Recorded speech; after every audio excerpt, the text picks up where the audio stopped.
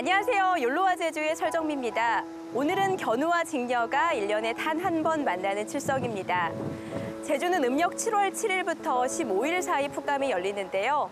칠석날 제주 사람들은 풋감을 따서 즙을 낸 후 옷감을 적셔 가롯을 만들었다고 합니다. 이를 재현하기 위해 서귀포농협 기술센터에서는 오늘부터 내일까지 가롯 만들기 행사를 진행하는데요. 직접 가롯을 만들며 제주인들의 삶을 느껴보는 건 어떨까요? 욜로와 제주 시작합니다. 먼저 오늘 제주 어떤 소식이 있는지 만나보시죠. 생물권 보전 지역인 효돈천 중상류 지역입니다. 연못 속에서 10원짜리 동전 크기의 하얀 물체가 꿈틀거립니다. 담수에 사는 민물 해파리로 제주에서 발견된 것은 이번이 처음입니다. 그 수면 위로 떠올랐다 가라앉았다가 한두 개체가 보이기 시작하더니 한 10여 개체 이상 이곳에만 나중에 모니터링한 결과 한 100여 개체가 있는데 이렇게 떠오르고 있었어요. 민물 해파리는 세계적으로 20여 종밖에 보고가 안 됐을 정도로 희귀합니다. 우리나라에선 지난 1994년 처음 민물 해파리가 대청호에서 대량 확인됐지만 민물 해파리에 대한 학계 보고나 연구는 거의 없는 실정입니다. 수온이 큰 영향을 미칠 것으로 보는데 제주에 있는 경우에 좀 독특한 게 그 수계가 큰 물이 없기 때문에 관측하기가 많이 힘들었을 것 같습니다. 영산강 유역 환경청은 이번 민물 해파리가 누군가에 의해 인위적으로 유입됐을 가능성도 열어놓고 민물 해파리가 기존 생태계에 미치는 영향을 지속적으로 모니터링할 계획입니다. 찢어진 철판 사이에서 시커먼 기름 덩어리가 새어나옵니다. 유조선 안쪽에선 필사적으로 기름을 막아냅니다. 벙커CU 3,200여 톤이 실려있던 유조선과 화물선이 충돌했습니다. 대형 환경사고로 이어질 뻔한 아찔한 순간 기름을 온몸으로 막은 건 해경 구조대원들입니다. 자연 15도, 15도로 기울어진 상태였고 그 찢어진 상태의 가장 윗부분에서 어, 적재되었던 유류 벙커 CU가 어, 다량으로 유출되고 있었습니다. 온통 기름으로 뒤덮인 끈적한 바다, 매캐한 기름 냄새와 강한 햇볕까지 방제 현장은 말 그대로 지옥 같았습니다. 잠수복과 장비에 묻은 기름을 닦아내며 10시간 넘게 고된 작업을 이어갔습니다. 약간 이제 냄새도 조금 약한 부분도 있었고 음, 너무 이제 날씨가 좀 더워가지고 음, 그 기름이 이제 기온이 높아가면 이제 인체에 이제 미치는 영향이 좀 크다고 하더라고요. 체력적으로 많은 부담을 느꼈습니다. 구멍난 부분을 메우고 기름 이적 작업을 끝으로 상황은 종료됐지만 기름을 뒤집어 쓸 수밖에 없었던 잠수대원들은 강한 자외선의 화상과 피부염까지 생겼습니다. 대원들의 사투 덕분에 당시 40km가량 퍼졌던 기름은 대부분 제거됐습니다. 지금까지 오늘 제주를 알아봤습니다.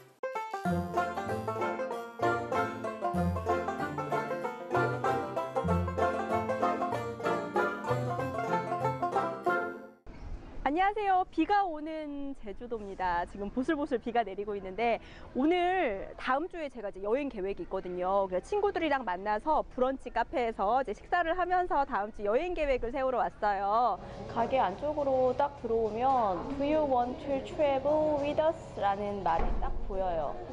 아, 제주가 정말 그야말로 여행하기 딱 좋은 곳이죠.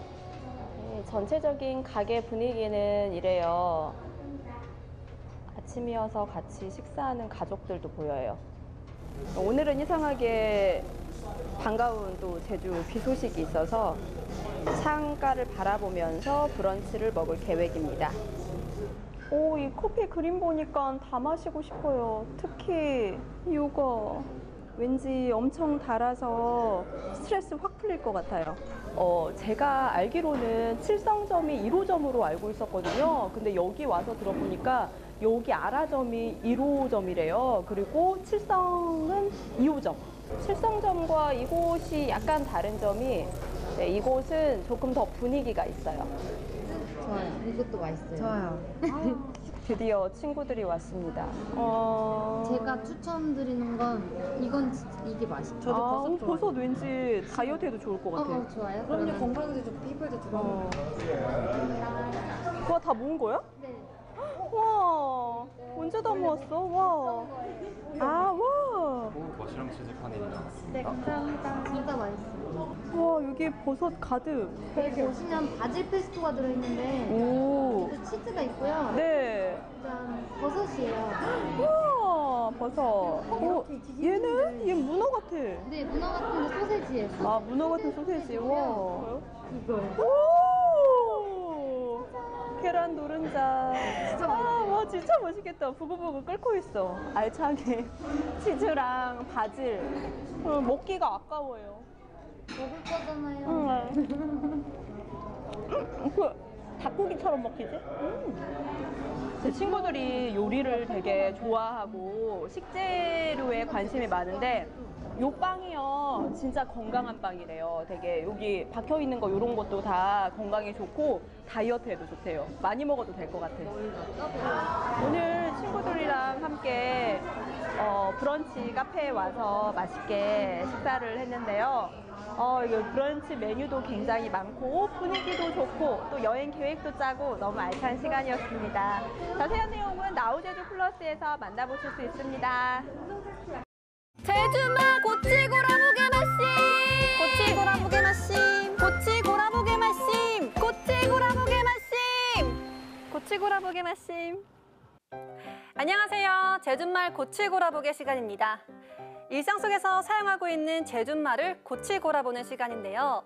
이 시간을 통해서 제주 생활 속에서 사용하고 있는 제주말과 제주 문화에 대해서 알아보도록 하겠습니다. 여러분 점심만 먹고 나면 왜 그렇게 잠이 오고 또 만사가 귀찮아지는 걸까요? 저만 그런 건 아니겠죠. 이럴 때 우리의 심정을 잘 대변해주는 그런 제주말에는 어떤 게 있을까요?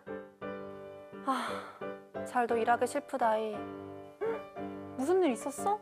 갑자기 왜 슬퍼? 아니, 일하기 슬프다고. 남자친구랑 싸웠어? 아님, 집안에 무슨 일 있어? 왜 그래? 슬퍼하지 마. Don't cry. 여기서 제주어로 슬프다는요, 우리가 흔히 알고 있는 슬프다가 아니고요. 바로 싫다의 제주말입니다. 그래서 여러분, 이 나른한 오후 시간에 일하기 너무 싫고 또 모든 일을 다 내일로 미루고 싶을 때 어떻게 표현한다고요? 고치고라보게 말씀! 정심도 먹고 배부르는 잘도 일하기 싶으다이. 아, 개매이, 나도 잘도 일하기 싶은디게. 정심도 먹고 배불르난 잘도 일하기 싫프다이. 정심도 먹고 배불르난 잘도 일하기 싫프다이. 개매게 나도 막 싫은디게. 개매게 나도 막 싫은디게. 이렇게 대화해보세요. 조금 더 제주를 친숙하게 느끼실 수 있을 거예요. 그럼 다음 시간에도 고치고라 보게!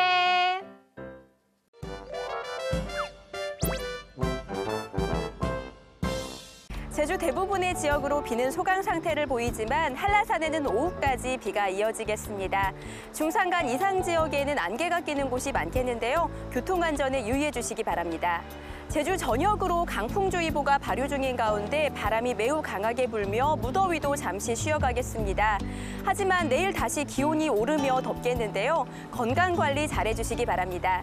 계속해서 자세한 제주 날씨 정보 알아볼게요. 오늘은 제18호 태풍 룸비아의 전면에서 만들어진 구름대의 영향을 받다가 점차 벗어나 흐리고 아침 한때 비가 오겠습니다. 제주 북부와 서부 그리고 남부에는 폭염주의보가 발효 중인 가운데 내일부터 기온이 다시 올라 무더위가 이어지겠습니다. 내일은 중국 북동부 지방에 위치한 고기압의 영향으로 대체로 맑겠습니다. 계속해서 제주 항로를 포함한 바다 날씨입니다. 제주도 남쪽 먼바다와 앞바다 그리고 남해서부 서쪽 먼바다에는 풍랑 경보가 발효 중인 가운데 해상에는 바람이 매우 강하게 불고 물결이 매우 높게 일고 있습니다. 오늘 바닷길 상황이 좋지 않아 제주 항로를 오가는 여객선 일부 결항됐습니다. 사전에 운항 정보 확인해 주시기 바랍니다.